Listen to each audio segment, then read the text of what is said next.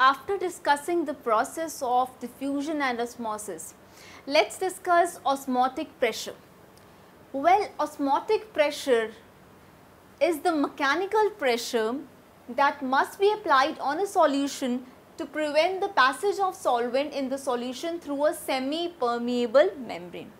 Means the pressure that we are going to apply on the solution so that there is no movement of solute particles, right.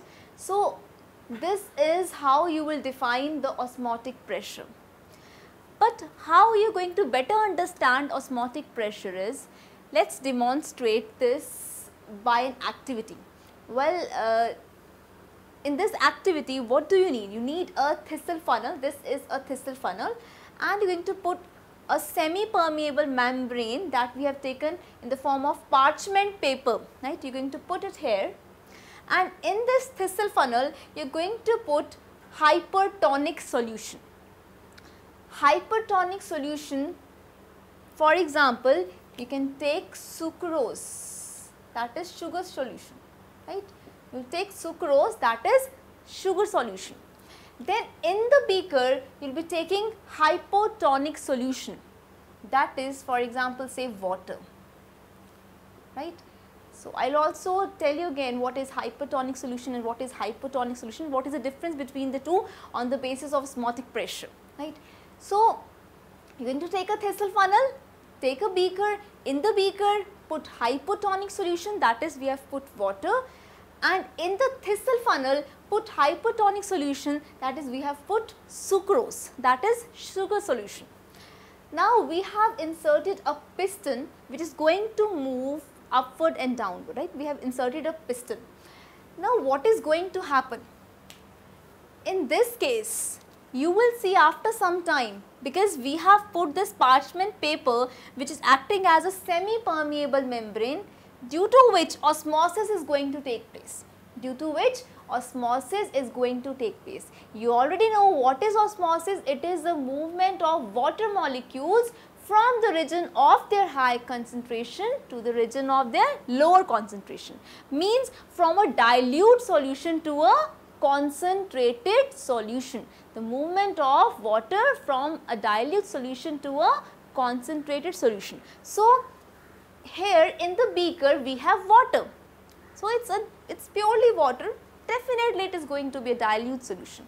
And in this thistle funnel we have sucrose that is we have added sugar into water. So, this is now a concentrated solution means in this case the water molecules are going to be less as compared to the as compared to the water molecules that are going to be there in the beaker. So, according to the osmosis process, there will be the movement of water molecules that are there in the beaker into the thistle funnel and we have a semi-permeable membrane. So, we are going to call this process as osmosis namely endosmosis is going to take place means the water is going to enter from the beaker into the thistle funnel. When the water is going to enter into the thistle funnel, this piston is going to rise upwards. This piston is going to rise upwards. So, this proves that endosmosis is taking place means the water is moving from the beaker into the thistle funnel. So, it is a proof of that the movement of the piston upwards right. Now, put some weights, put some additional weights. After putting additional weights, what is going to happen? There will be no movement of piston now the piston will not move now. So, this is how we can demonstrate the osmotic pressure means the mechanical pressure that must be applied on a solution to prevent the passage of solvent in the solution through a semi-permeable membrane. Now, I hope that the definition we have discussed in the beginning is clear to you by the demonstration through this experiment or this activity, right. So, you can see that when we put some additional weight, the piston is not going to move.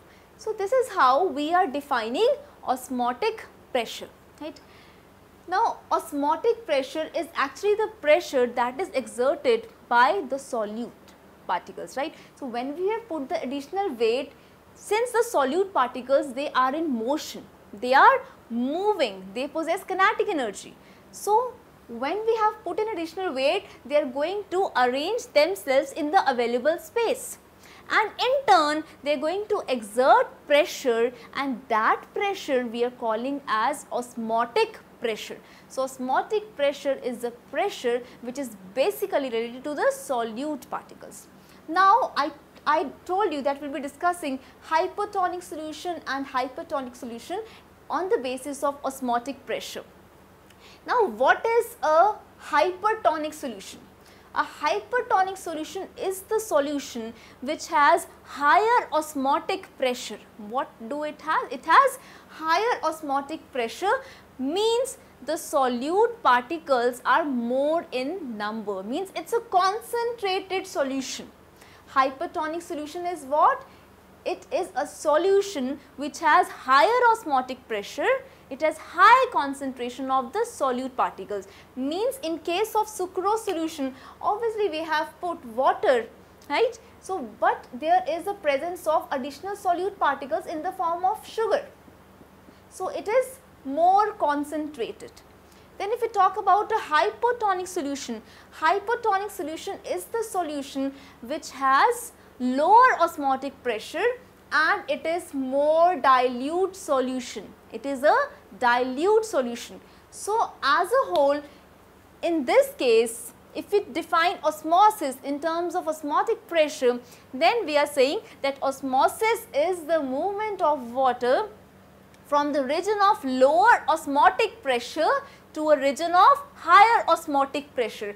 How? You can see that here we have a hypotonic solution which means we are talking about low osmotic pressure and in this thistle funnel we had hypertonic solution means the solution which is at higher osmotic pressure. So, there was a movement of water molecules from the beaker into thistle funnel means from lower osmotic pressure to higher osmotic pressure. You can also say that there is movement of water from a dilute solution to a concentrated solution. The movement of water is there from the dilute solution to a concentrated solution. So, this osmotic pressure is actually directly proportional to the concentration of solution means greater the solute particles greater is going to be the osmotic pressure. Since this hypertonic solution contains more number of solute particles means osmotic pressure is more in the thistle funnel. And in this beaker the solute particles are not we have simply taken pure water.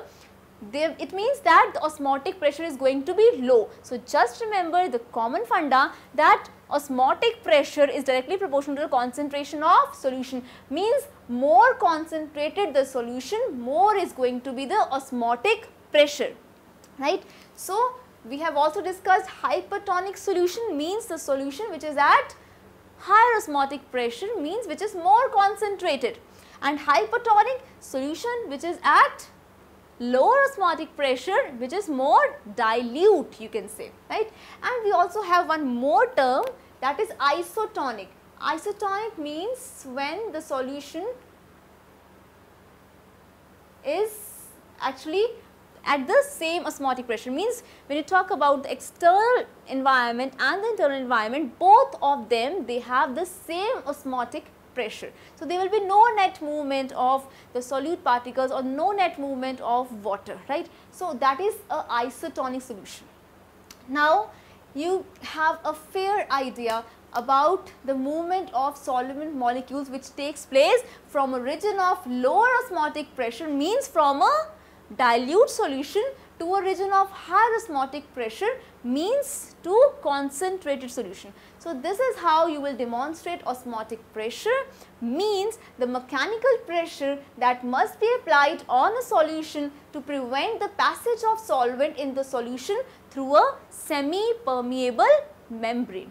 So, I hope you will be able to define osmotic pressure, you will be able to demonstrate this with the help of this activity and you now know that osmotic pressure is directly proportional to the concentration of the solution. More concentrated the solution, more is going to be the osmotic pressure.